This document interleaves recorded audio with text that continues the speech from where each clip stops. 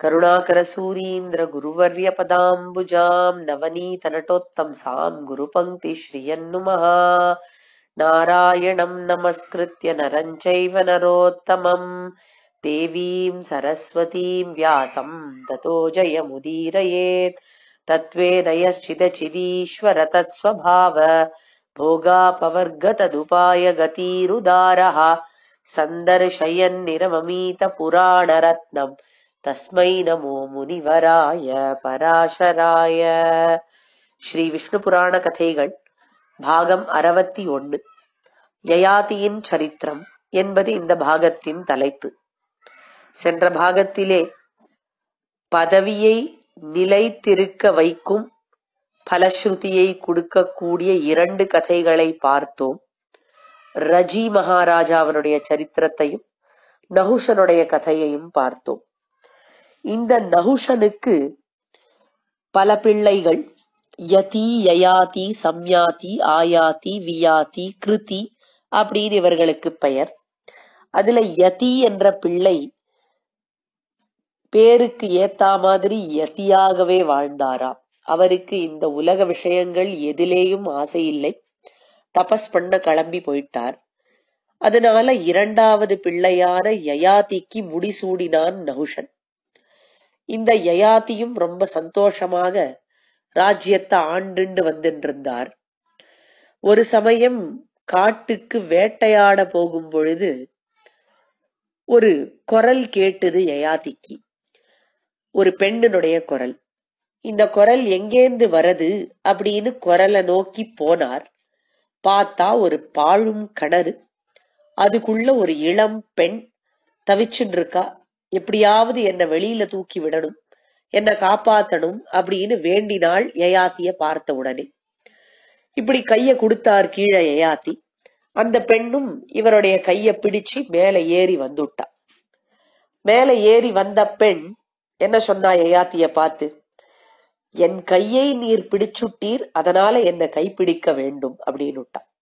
என்ன நீரே விவாகம் பண்ணிக்கணும் அப்படின்னாளாம். அம்மா நீ யாருன்னு கேட்டார் யயாதி. நான் தான் தேவயானி சுக்கராச்சாரியருடைய பெண் அப்படின்னு சொன்னா இந்த பெண். சுக்கராச்சாரியர் அசுரர்களுக்கு குலகுரு. அவருடைய பெண் இந்த தேவயானி. ஒரு ரிஷியினுடைய புத்திரி. வந்திருக்கிறவர் மகாராஜா யயாதி க்ஷத்ரியன் இப்பேற்பட்டவர் இந்த பெண்மணிய எப்படி கல்யாணம் பண்ணிக்கிறதுன்னு யோஜனை பண்ணினாராம். நானோ ராஜா நீயோ பிராமண பெண். ஒன்ன நான் எப்படி கல்யாணம் பண்ணிக்கிறது? இது சாஸ்திரப்படி சரியா தவறான்னு கூட எனக்கு தெரியலையே அப்படின்னு கேட்டார் மகாராஜா. அதெல்லாம் எங்க அப்பா சொல்லுவார் அப்படின்னு அழைச்சிட்டு போயிட்டா தேவயானி. தேவயானியினுடைய அப்பா சுக்ராச்சார் அவ மேல ரொம்ப ஆசை வச்சிருக்காராம். பெண்ணுக்காக என்ன வேணும்னாலும் பண்ணுவார்.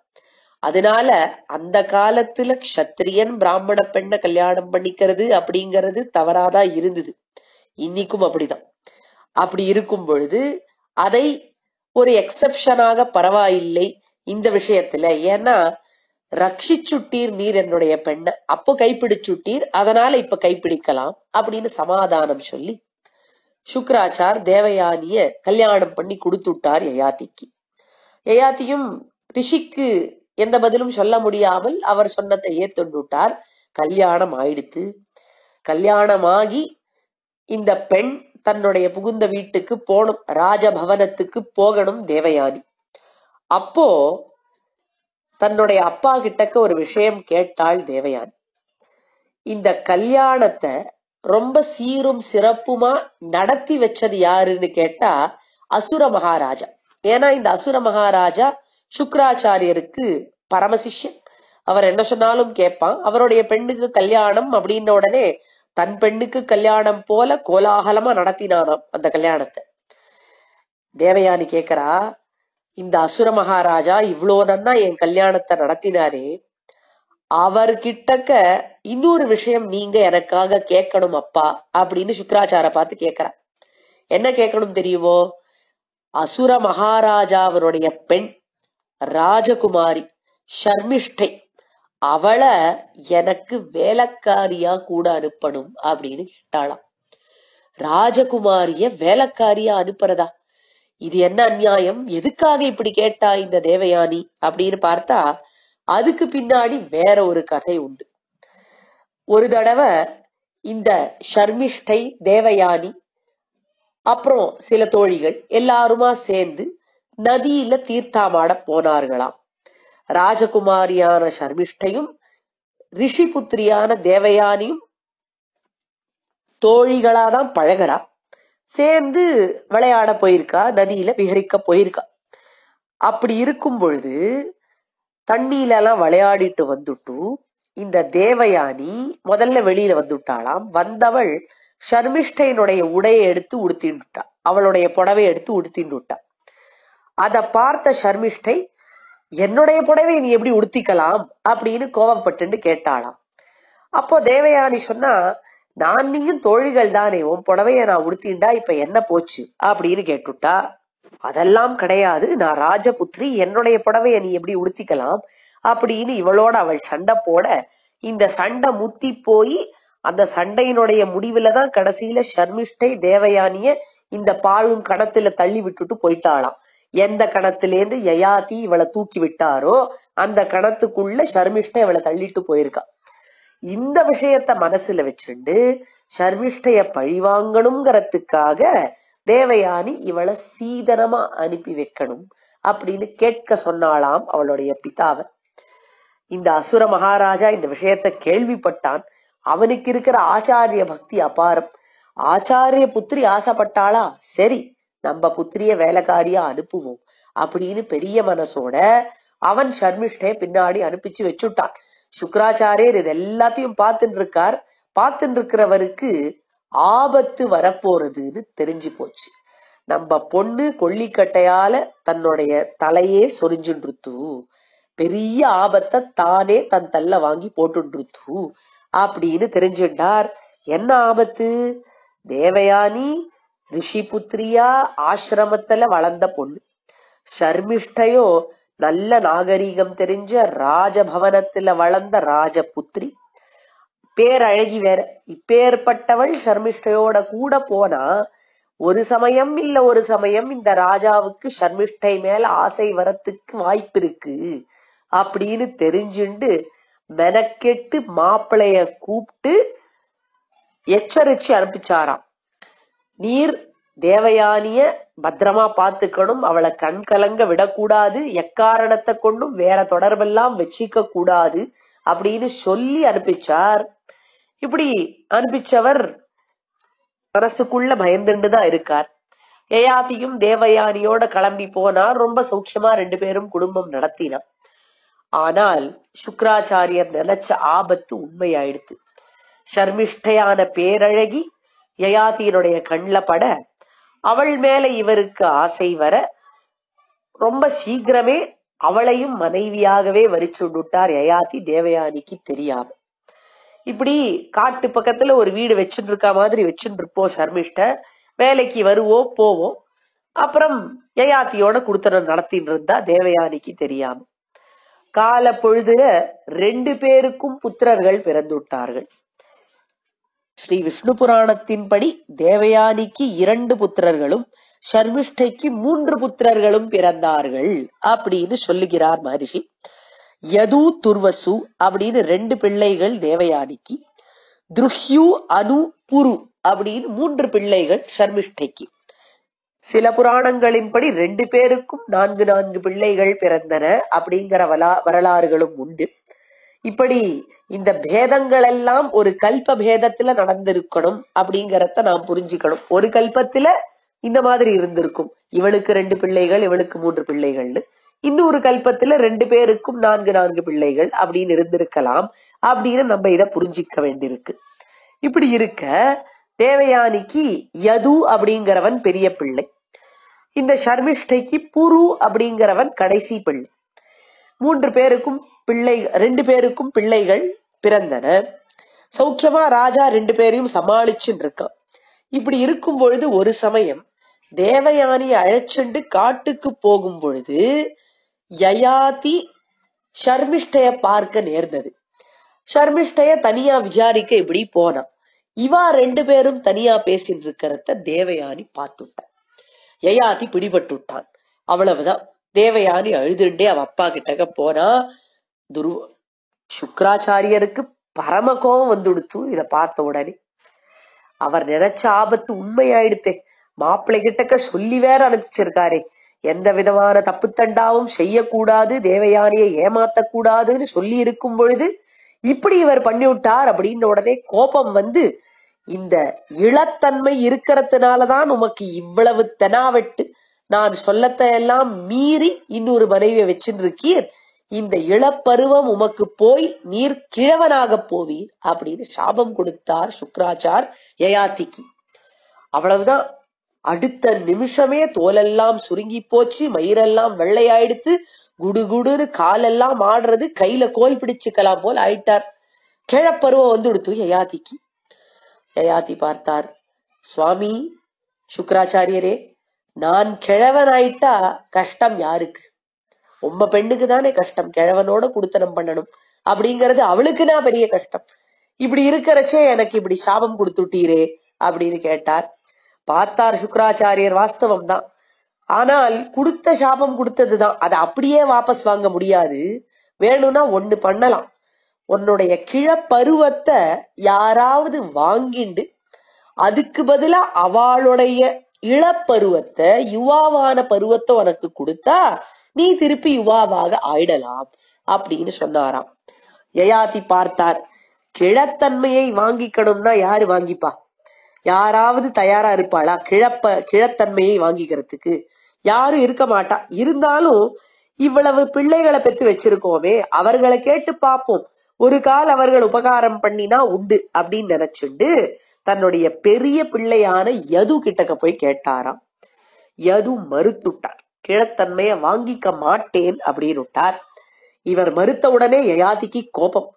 அப்பா சொல்லியும் கேட்காத பிள்ளை பிள்ளையே இல்லை பிள்ளைகள்ல பலவிதம் உண்டாம். அப்பா சொல்லாமலேயே அப்பாவனுடைய மனமறிஞ்சி இருக்கக்கூடிய பிள்ளை உத்தமமான பிள்ளை பீஷ்மர போல. அடுத்த ரகம் என்னன்னா அப்பா வாய விட்டு சொல்லி அதை கேட்பது. அவன் மத்தியமமான பிள்ளை சாதாரணமான பிள்ளை.